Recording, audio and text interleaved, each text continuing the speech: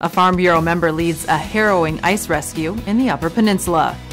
We find out what's on tap for the Michigan Legislature's ag committees, and the Michigan Sheep Producers Association has a new director. I'm Janelle Brose, and this is Farm News 5.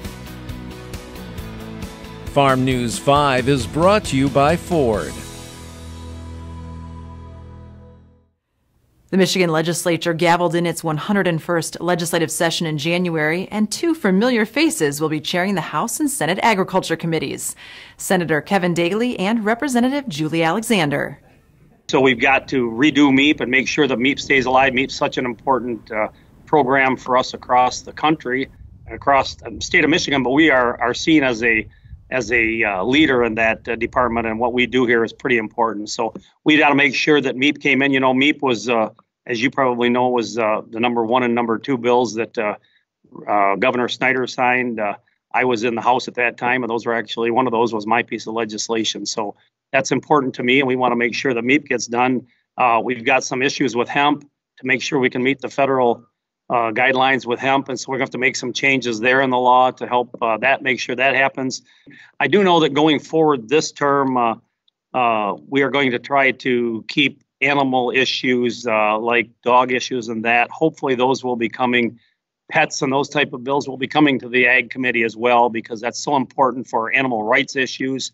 Uh, we don't want those to get tied up into some some situations where they get you know, because they can affect us. What we do with pets will affect animal agriculture in the long run. Meanwhile, in the other chamber, Representative Alexander is anticipating a hearing for House Bill 4031, introduced by Representative Bronna Kahle. Kahle's bill will amend the Michigan Occupational Safety and Health Act by increasing the reporting time from eight hours to seven days and reducing the civil penalty from $5,000 to $500 when a fatality has occurred on a small family farm. To me, for MIOSHA, to have our state government enter in and fine a family for not reporting that loved one's death in a matter of hours with an exorbitant fine is a bill I am very happy and excited again that Representative Kahle is picking up and, and it will introduce to our committee in the very near future. To me, that's just it's not showing sympathy, empathy to that family. It's not good policy, and to me, it's an overreach of our state government. Coming up, a UP Farm Bureau president risks his life to save another's. There's torque. Then there's 1,050 pound feet of available best in class torque. There's towing. Then there's up to 37,000 pounds of available best in class towing. There's backing up a trailer. Then there's backing up with available class exclusive Pro Trailer Backup Assist. In other words, there are trucks, and then there's the new Ford Super Duty, the most capable heavy duty pickup truck ever built. Don't call him a hero. He's just a man who knows how to get things done.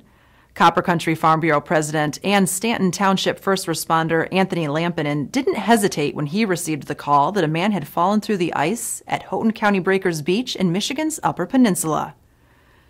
I went direct to the scene, and I had some uh, uh, pretty good sized rope in my pickup. Luckily, I just put in there the week before, and I was able to get out on the wall. The wall, you know, it's a break wall, you know, for the Portage entry or Portage Canal and it's uh it was glare ice, you know, there's rounded ice and so I was able to get out to where the guy was uh in the water there or he was kind of clinging on at that point kind of clinging onto the edge of the the wall. And I was able to get the rope down to him. And then uh once I got to him he was able to kind of help pull him up. He climbed up on top and then uh, at that point the DNR officer and sheriff's deputy had gotten there and we they had another rope, and we were able to throw ropes back and forth to help get uh, the guy off. Lampinen was grateful they were able to pull the 22 year old man from the water, knowing that the cold and icy conditions on that January day left little time for error. The Houghton County Sheriff's Department gave life saving award plaques to Lampinen and two other first responders. There was three of us that got it: the conservation officer, the sheriff's deputy, and I. And uh, as a ward. And like I had said at that point, you know, they asked about, you know, how you feel, and I, you know, and I mentioned then, and I'll mention again that we don't do it for the honor. The honor is God's honor.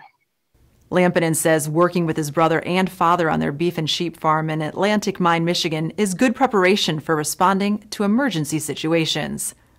A lot of times on the farm, you know, sometimes you just got to make things work. You know, middle of hay season, you know, rain's coming, something breaks down, you just got to fix it. You know, you, you just can't say, okay, I'll wait till next tomorrow or next day or something.